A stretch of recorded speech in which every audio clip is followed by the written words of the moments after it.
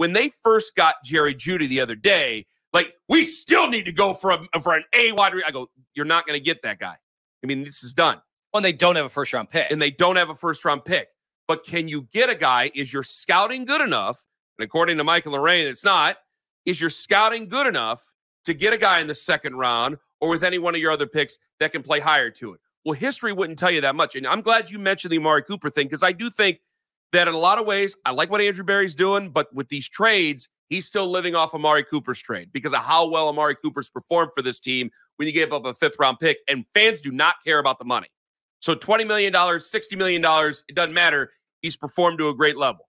But with Elijah Moore, there's question marks there. With Jerry Jeudy, there's question marks there. But when you see a lot, when you see Amari Cooper, you say, all right, let's see if this thing can work out. And Elijah Moore, you know, he was not a malcontent with this team this last year. He wasn't that way. I do think that they used him in some spots maybe they shouldn't have. I think they tried, I think they were forced because of Nick Chubb's injury. They had to do some things with Elijah Moore, but as they were able to calm it down and just make him a wide receiver, Joe Flacco was able to find him before the injury against the New York Jets. So there was some things that were working out there. I don't want to give up everything on Elijah Moore, but is he a big contract, big wide receiver guy?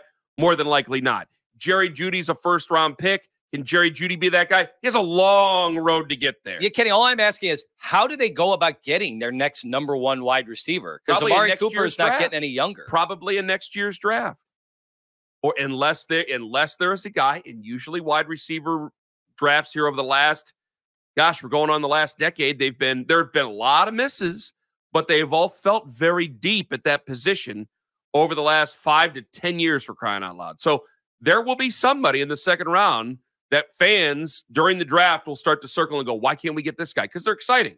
They're exciting draft picks. Now, will the Browns go ahead and necessarily get that guy? Well, if they feel that he's better than X, Y, or Z in positions they might need, then yeah, I think that they'll squeeze the trigger and get that guy. I'm not going to rule out a wide receiver by any means just after they dra- they traded for Jerry Jeudy.